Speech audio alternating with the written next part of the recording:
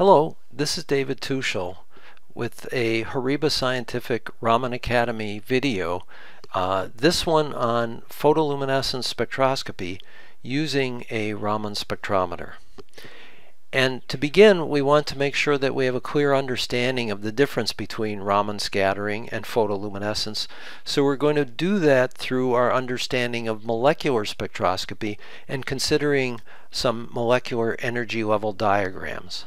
So what we see here is a uh, molecular energy level diagram of, shall we say, a generic molecule and the interaction of a photon with this molecule such that the incident photon is not absorbed. Well, what do we mean by that? Well, we've got two electronic states indicated here, E sub 0, E sub 1, which are the ground and the first excited electronic states respectively. And within each of these electronic states, you have a manifold of vibrational energy states, nu sub 0, nu sub 1, nu sub 2. And in this case, uh, let's talk about elastic light scattering or Rayleigh scattering first, and that's shown right here, where the molecule is originally in the ground, excited, and vibrational states. And as we said, it's not a resonance condition, so the energy of the incident photon is not sufficient for an electronic transition. That is to say, no absorption occurs. The molecule is essentially transparent to this radiation. However, uh, the interaction uh, with uh, the molecule with a photon can bring the molecule to what's quantum mechanically described as a virtual state where a photon can then be scattered uh, at, in this case, at the same energy, frequency, and wavelength as that of the incident photon. So there's no transfer of energy whatsoever, hence it's called elastic light scattering or Rayleigh scattering. Now you can also have inelastic light scattering, which is Raman scattering, and that can be either by Stokes or anti-Stokes Raman scattering. Stokes is what uh, most of you are doing, Stokes Raman scattering, because the ground vibrational state is the most heavily populated, so therefore it's going to give you the stronger signal. So the molecule originates in the ground vibrational state and uh, again, upon interaction with the photon, goes to the virtual state, whereupon a transfer of a quantum of energy has occurred such that the molecule now ends up in the first excited vibrational state, and the Raman photon that's scattered has an energy less than that of the incident photon. Okay, so the energy is less, the frequency is less, and the wavelength is longer than that of the incident photon the molecule ends up in the first excited vibrational state. And you could see then the complementarity of Raman scattering to infrared absorption because in infrared absorption the molecule ends up in the same vibrational state but through a different route, through direct absorption of a lower energy, uh, longer wavelength photon. Now you can also have anti-Stokes Raman scattering where the molecule begins in the first excited vibrational state ends up in the ground vibrational state. So a quantum of energy has been transferred from the molecule, in this case, to the photon. And so the photon now has an energy and a frequency greater than that of the incident uh, of the incident uh, uh, light. And uh, so this will be on the uh, shorter wavelength side of the laser line. In the Stokes Raman scattering, you uh, detect your Raman scattered light on the longer wavelength side of the laser line. Now this is for the case of non-resonance, that is to say where there's no absorption of the incident light. Now what can happen if absorption is occurring? So our energy level diagram appears different now and we have the case where the interaction of the molecule with the photon drives that molecule to the first excited electronic state where you can get resonance enhanced Raman spectroscopy, but that's not the topic of this video. What we want to talk about here is uh, the phenomenon of fluorescence. So this uh, photon is absorbed by the molecule. It can then end up in a number of vibrational states uh, in this uh, first excited electronic state, whereupon it undergoes relaxation and transition, radiationless transitions, such that from the ground vibrational state, a photon can be emitted, that's the fluorescence, and the molecule can end up in a variety of different vibrational states of the ground electronic states. And that's what gives you either the fine structure uh, or depending upon the molecular interactions, let's say in a solvent or surrounding solid, then the breadth of the uh, fluorescence or emission bands that you see. So that's the difference between Raman scattering and fluorescence. The thing is, is they can both appear in the same spectrum uh, and uh, be generated from the same experiment because you're basically exciting with this wavelength and then the different processes can occur if you are uh, basically in resonance with an electronic transition. So here's an example of spectra consisting of both Raman bands, which you see here, as well as photoluminescence. And these spectra were obtained from uh, exfoliated few layer two-dimensional molybdenum disulfide. And these spectra were acquired from the very same location on the flake, excited with different excitation wavelengths, color-coded here. So the blue spectrum was excited with 532 nanometer excitation, and the red spectrum with 633 nanometer excitation. And these spectra are plotted on a wavelength scale, not Raman shift, but a wavelength scale. Therefore, you can see the differences in Raman scattering and photoluminescence because the Raman bands are always a shift relative to the laser line. They're always a constant energy value shifted with respect to the energy of the laser line. So at 532 we go to the particular frequencies redshifted with respect to the laser line and here the Raman bands appear, same thing for the 633 nanometer excitation.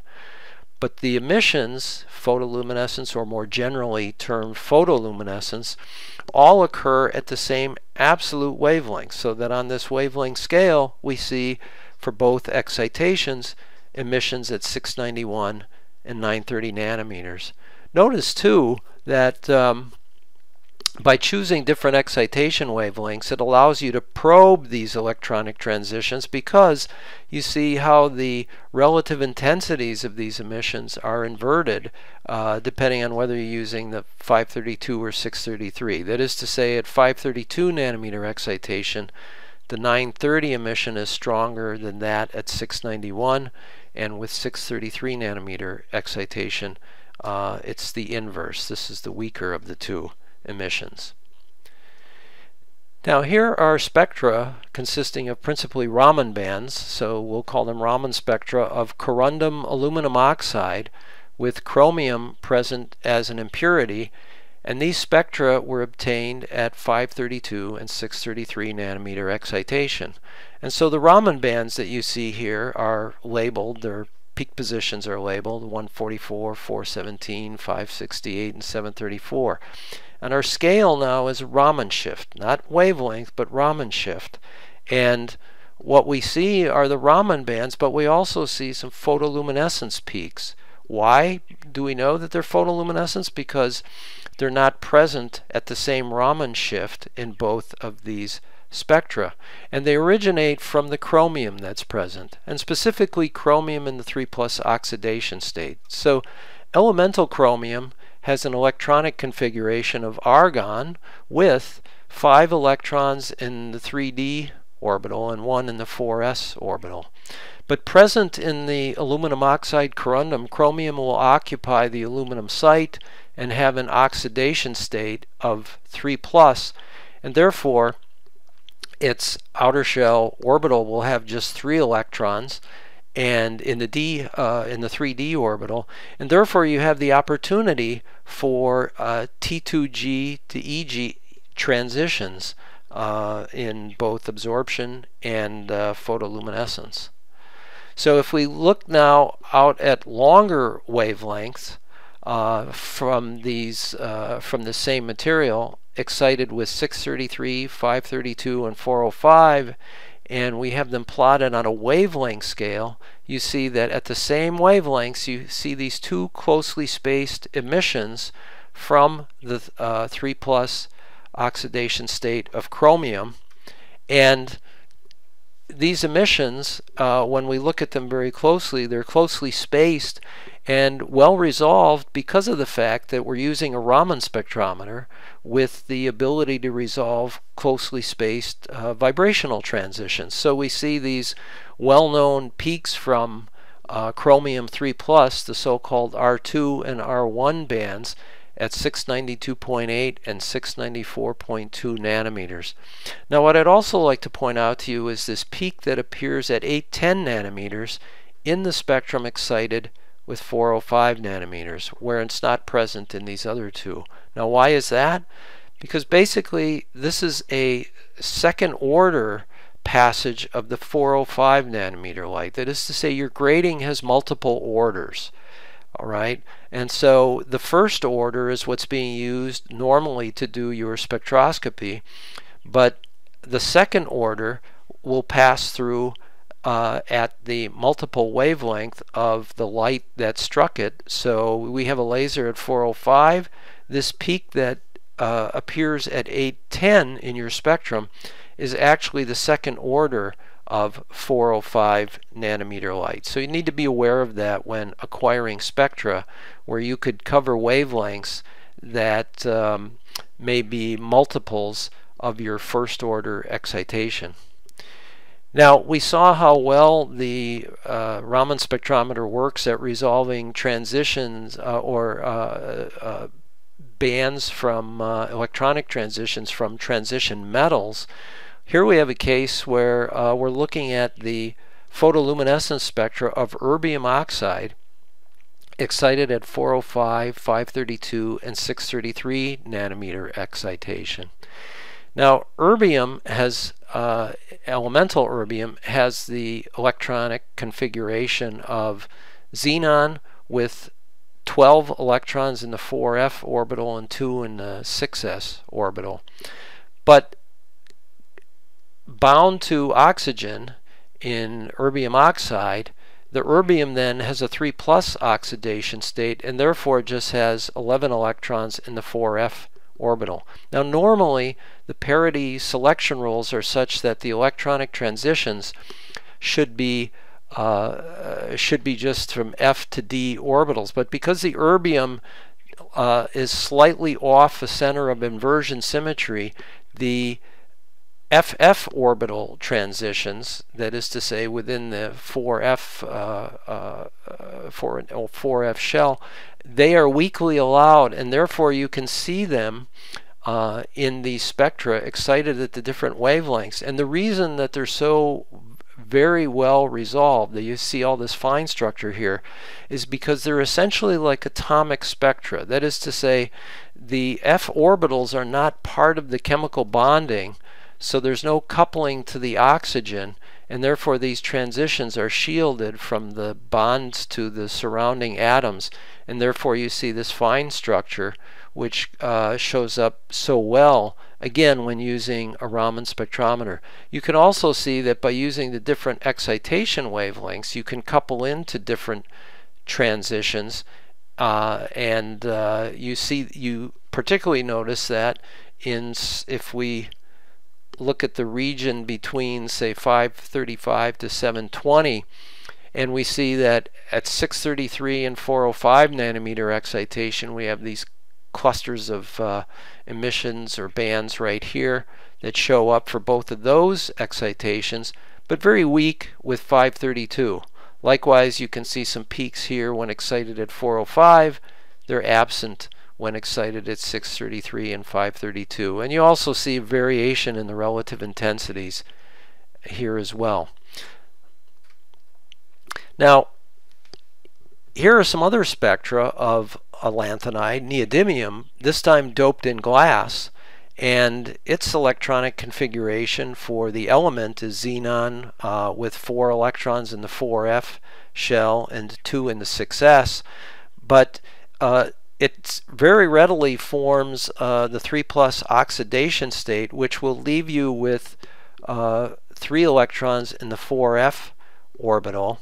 And in this case, what we see for all three excitation wavelengths is basically the same spectrum. And you notice that there's very little fine structure here, fairly broad, which is a very good indication that in this case, the transition is in fact between the f uh, orbital and the d orbital. Now why is that? Because the d orbitals of the neodymium is going to couple much more strongly to the surrounding uh, oxygen of the glass uh, than will the f orbitals. So there you see basically you can use the uh, laser excited uh, photoluminescence with a Raman spectrometer to be able to probe differences in the electronic transitions and their coupling to the surrounding material.